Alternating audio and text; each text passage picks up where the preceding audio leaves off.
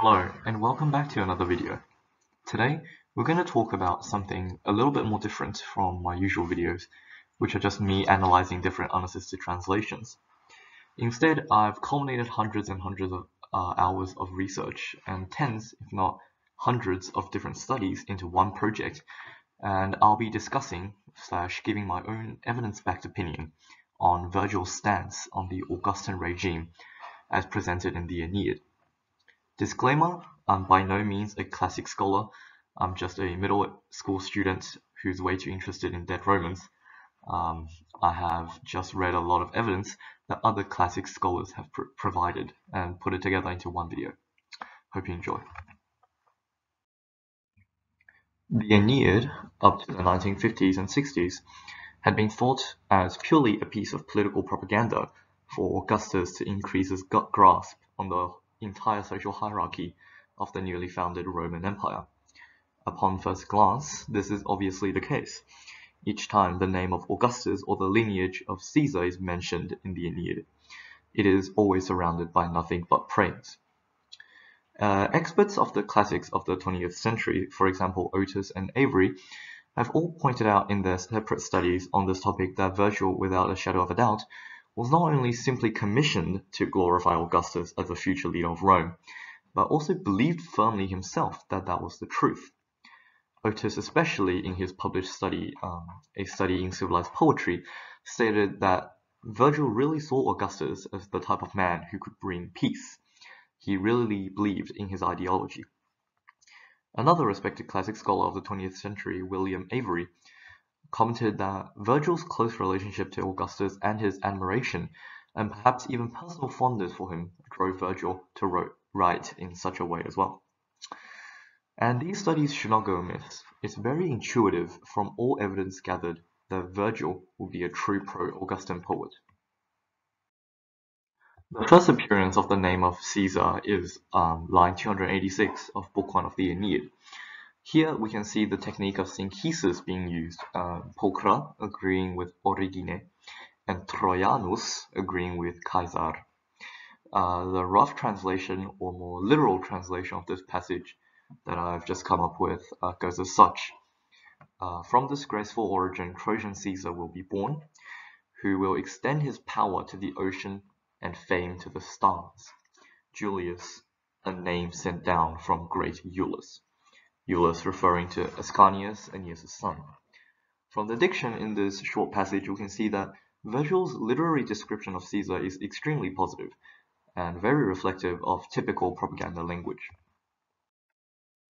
The second appearance of the name of Caesar is line 791 of Book 6 of the Aeneid, where Aeneas visits the underworld to talk to his father uh, Anchises. Anchises provides a pageant of Rome's future and descendants of Aeneas, and of course, eventually reaches Augustus Caesar. This passage is roughly translated as such. This is the man, this is him, who was promised to you, whom you hear about so often. Augustus Caesar, born of the gods, who will bring back the golden age of Saturn to Latium. These are obviously very big promises that are given as a propaganda technique by Virgil, and glorifies Augustus to an extreme extent. Um, another common theme with not just Roman but any ancient culture with regards to being an heir to the throne, as with Chinese and ancient Romans, the concept of blood and origin of birth is extremely important in determining who has the right to rule. It's often less about military power and more about the divinity right, the divine right to the throne. And thus Augustus, understanding of this fact, uh, wanted to portray himself to be in line with the great heroes of Roman civilization by linking himself to Aeneas, who was the son of Venus, meaning he was ultimately a descendant of Jupiter, the king of the gods. The third and last appearance of Caesar is line 678 to 681 of Book 8. And because my translation sounded a bit off here and uh, wouldn't make much literal sense, I employ the translation of uh, Dylan McAuley, who's someone much more qualified and better at this than me, in his study about this topic named Eulogy for the Republic, Virgil's Anti-Augustan Longing for the Roman Republic in the Aeneid. in which he translated this section as leading Italy into battle with the Senate, the people, the city's penates, and all the great gods, stood Caesar Augustus on his ship's high stern, a double flame licking his temples, and above his head shone his father's star. Again, portraying Augustus almost in parallel uh, with Aeneas, who was the ultimate model of Virgilian and Augustan Roman heroism. However, if we now take a turn, let's analyze all the evidence suggesting Virgil's silent disapproval for the Augustan regime. In Sabine Grebe, I think that's how you pronounce it, uh, her study, she commented that during Jupiter's listing of Aeneas' lineage, um, that Virgil selects only kings. He omits the famous Romans of the Republican period. This may be Virgil's way of implying that Augustus is a king himself, and so this aims at reminding the reader of the absence of the Roman Republic. James O'Hara also states that this may be Virgil indicating his choiceless trust in Augustus to better Rome, but also portraying his deep fear that the Rep Republic would have been better after all. This is also seen in Book 8 on the shield of Aeneas, where Augustus marching into battle had the people and senate on his side. Uh, this may be Virgil's hint that a leader cannot be successful without the aid of his people and the senate, which may serve as a silent reminder to the people that Augustus now was unlike a consul of the Republic. He has everything he needs to rule with an iron fist without the Senate's consent.